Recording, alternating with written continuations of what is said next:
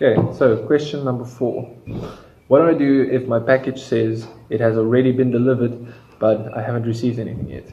Well, it's important to contact us. I mean, you have to contact us, DTDC, obviously.